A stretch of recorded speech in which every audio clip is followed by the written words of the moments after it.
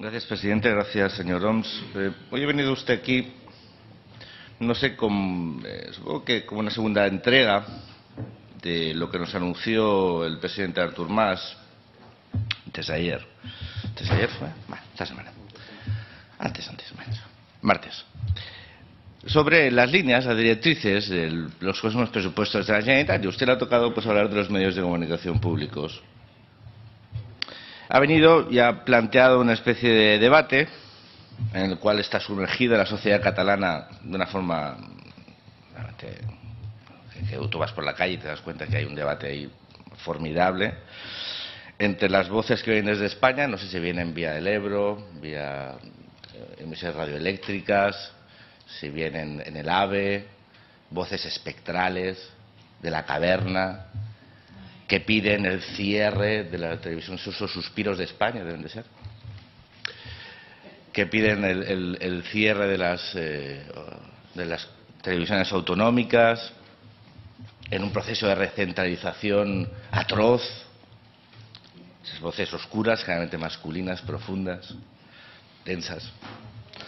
Y por otro tenemos esas voces más femeninas, más musicales, más líricas, que piden que la Corporación Catalana de Medios Audiovisuales se quede al margen de la situación económica y viva una especie de Disneylandia, donde los recortes eh, pues no existan, porque la función y la calidad de los contenidos y el servicio pues son formidables.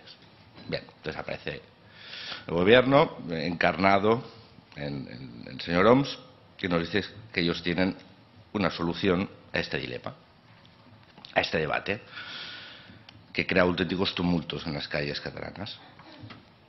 Y su, una decisión salomónica, ellos optan por, el, por una solución intermedia, que es mantener esos principios que han eh, caracterizado a la Corporación Catalana de Medios Audiovisuales en sus diferentes nombres de los últimos 30 años, los principios, esos tres principios, ¿no? Lengua, identidad nacional y servicio público. El orden de los factores no sé si afecta al producto, pero desde luego lo, condiciona. Mantenimiento de esos principios y recorte, recorte de los, eh, de los presupuestos destinados a la corporación. Unos recortes que parece que nos retrotraen al año 2007. ¿eh? Creo que andábamos por ahí, sobre los 260 millones, por ahí andaríamos. Y lo hace sin concretar exactamente cómo, sí anunciando en plan Artur Mas las medidas generales, tocando el capítulo 1, el, el, los salarios, sin decir cómo, y después reduciendo de seis a cuatro canales, tampoco diciendo cuáles. Entonces, una de dos, o si usted anuncia medidas sin concretar, es porque no saben lo que van a hacer y por lo tanto son ustedes unos irresponsables, o si saben lo que harán y no os lo cuentan, es que nos toman el pelo. Entonces a mí me gustaría que si ustedes saben lo que van a hacer, nos lo cuenten, no dosificado. No, no, no, con esas pequeñitas dosis de arsénico que ustedes nos van proporcionando ¿eh? semanalmente. No, díganos qué quieren hacer, qué canales van a cerrar. Porque supongo que alguien les habrá hecho, no sé si de Deloitte o alguna, alguna empresa de estas consultoras interesantes, les habrá hecho un, un, un, plan de medios, ¿no? ¿Qué, ¿Qué canales van a cerrar? ¿Cuáles? O no lo saben. Dos. Así como número. De seis a cuatro. Ala. Sin saber cuáles. Y tocaremos eh, los salarios. Pero bueno, no sabemos si las pagas extras, no sabemos eh, si un porcentaje de... No, no, eso no lo dicen. Entonces, si usted viene aquí a explicarnos qué va a hacer y cómo va a ajustar los presupuestos del año 2012, la partida correspondiente al contrato programado, nos tiene que decir cómo lo va a hacer y qué va a hacer. No anunciarnos los titulares, que supongo que es lo que usted busca. Anunciar los titulares, yo lo estoy viendo ya por Twitter. ¿eh? De 6 a 4. ¿Pero cuáles? Que los titulares del posible medio de comunicación que se va a convertir en el medio de comunicación beneficiado de sus decisiones. Cuando ustedes hablan de concentración de los medios públicos, ¿se hablan también de concentración de medios privados? ¿A uno que le faltaba la patita de la televisión? Usted ha aceptado que de la radio ya les funcionaba por V. ¿Por qué no lo explica? Yo le voy a... Mira, dos preguntas. Y quiero que usted me conteste sinceramente o no, depende de usted. ¿Ha hablado su gobierno con algún grupo de comunicación privado sobre el futuro de los canales a suprimir?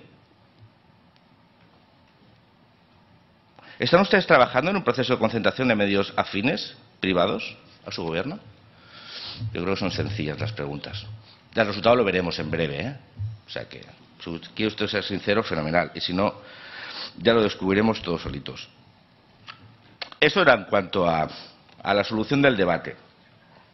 Nosotros desde Ciudadanos hemos dicho que en nuestra comunidad es necesario mantener unos medios de comunicación privados potentes al servicio público, es decir, de todos los ciudadanos de Cataluña. De todos los ciudadanos de Cataluña, no de aquellos que llevan 30 años secuestrándolos, porque no son suyos, son del conjunto de ciudadanos de catalanes, que lo pagan con sus impuestos, los vean o no. Pero claro, cuando uno patrimonializa la idea de lo que es ser catalán, de lo que es Cataluña y de su futuro, y confunde sus deseos con la realidad, y confunde un instrumento que tiene como objetivo no es más que dar un servicio público de información y de contenidos audiovisuales de calidad y lo transmuta en un instrumento de construcción nacional con la absoluta impunidad de decirlo, ni más ni menos que sus objetivos, pues claro, que usted no nos quiere hacer creer que los medios de comunicación públicos son de todos es una falacia, porque no lo son. Lo deberían ser, y estoy convencido que la mayoría de sus profesionales así lo desearían. Pero nunca ha sido ese su objetivo. Su objetivo ha sido la construcción de un relato nacional. Mire, yo lo he estado escuchando atentamente y he apuntado las palabras que usted más ha repetido no, es el orden, ¿eh? pero las que más ha repetido en su intervención. Nación, lengua, país e iniciativa privada. Tampoco sé si el orden de los factores aquí altera el producto. Pero usted prácticamente no ha citado las palabras ni, ni información ni cultura, salvo para hablar de industria. Y la información y la pluralidad deberán ser los principios que deberían regir cualquier medio de comunicación público cuando este no es instrumento al servicio de la construcción nacional. Porque usted imagínese, ustedes son nacionalistas, pero aquí podía haber, eh, de hecho lo hubo, bueno, debería haber sido, un gobierno socialista. Imagínense que os hubieran dicho que su objetivo es la construcción del socialismo real.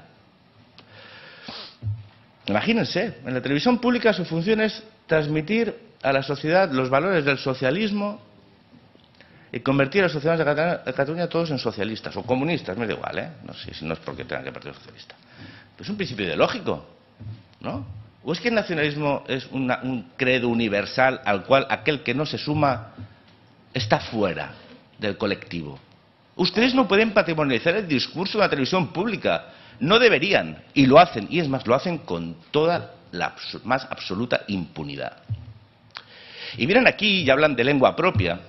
Yo les estoy hablando de la lengua propia. Y, hablo de lengua porque ustedes han hablado. Aquí veníamos a hablar de otra cosa, ¿eh? Pero como son ustedes insaciables, ¿verdad? La lengua propia de los catalanes, yo hablo la lengua propia de, que hablan casi el 60% de sus conciudadanos. ¿Lo escuchan? La lengua propia del 60% de sus conciudadanos.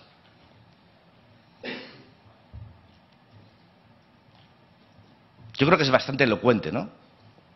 Y ya está bien de escuchar comentarios como las voces de España. Mire, esta es una voz catalana que habla en castellano porque le da la gana y que defiende un modelo de televisión pública que no es el que ustedes defienden, con la más absoluta legitimidad.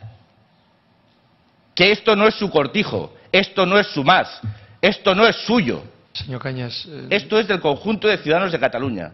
Espero que cuando alguien haga alusiones como al robo o el expolio fiscal, usted también le advierta. Le prego senzillament no cal tanta vehemencia. No, es la vehemencia. Una cosa es la vehemencia y otra cosa son los, eh, los, los, eh, los argumentos tóxicos, que también deberían de estar reprobados desde su presidencia. ¿verdad? Porque si a algunos les molesta el expolio fiscal, a mí me molesta el expolio del 3% que vivió este, este, esta comunidad o este país para algunos durante 23 años. Y no lo he citado aquí hasta ahora. ¿Verdad? Entonces, si usted reprueba eh, comentarios o argumentos reprobables argumentalmente por Senyor su Canyes, toxicidad, aquesta presidència no li pues, reprova cap comentari. no, esta presidencia, correcció esta formal esta presidencia ha interrumpido la vehemencia cuando ha interrumpido mensajes y argumentos que deberían estar absolutamente expulsados del debate. También le, le pido a los, a los comparecientes que se eh, extravien los... eh, y usted debería también hacerlo. Acabi, per favor, que ha conclòs el seu temps. No sé si ha acabat el seu argument. Moltes gràcies.